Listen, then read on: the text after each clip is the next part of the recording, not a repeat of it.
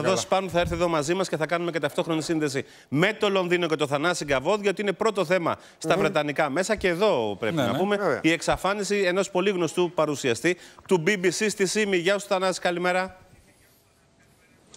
Καλημέρα. Ο Δόκτωρ Μάικλ Μόσλι είναι εξαιρετικά αγαπητός και δημοφιλής εδώ. Γκουρού της υγείας τον ξέρουμε, διότι παρουσιάζει όλα αυτά τα προγράμματα δεκαετίες για την υγεία και την α, διατροφή. Και γι' αυτό λοιπόν νομίζω ήταν αναπόφευκτο να είναι τόσο ψηλά η εξαφάνιση τους στη ΣΥΜΗ. Σήμερα σε πρωτοσέλιδα εφημερίδων και στα χθεσινοβραδινά δελτία μαζί με τους εορτασμούς για την D-Day στην Νορμανδία.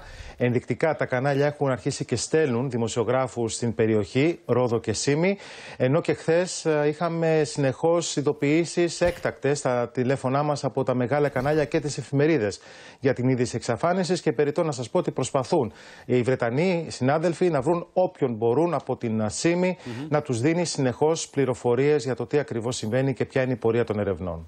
Ε, Θεοδόση, για πάμε, τι λέει η ελληνική αστυνομία; Θρίλερ. Και θα μείνω στην κουβέντα του Δημάρχου. Είναι δύσκολο να χαθεί στη ΣΥΜΗ. Σχεδόν ακατόρθωτο. Η παραλία εκεί είναι προσβάσιμη. Έχει μονοπάτι. Το μονοπάτι δεν περνάει από χαράδρες. Δεν υπάρχουν χαράδρες. Δεν υπάρχουν ρεματιές. Υπάρχει δασόδη περιοχή, ένα κομμάτι το οποίο έχει ένα πυκνό δάσος. Είναι όμως ένα μονοπάτι το οποίο είναι χαρακτηρισμένο και θεωρείται μάλιστα και διεθνές. Θα το βρεις και στους ε, χάρτες. Μυστήριο τα κινητά τηλέφωνα. Η αρχική πληροφορία τι έλεγε; Άφησε το κινητό του τηλέφωνο στη σύζυγο εκεί στην παραλία στο παιδί και της είπε: Εγώ θα πάω με τα πόδια. Γιατί άφησε το κινητό; Εν συνεχεία, μαθαίνουμε ότι τα κινητά λέει και οι δύο τα είχαν αφήσει στο σπίτι και είχαν πάει στην παραλία χωρίς κινητά.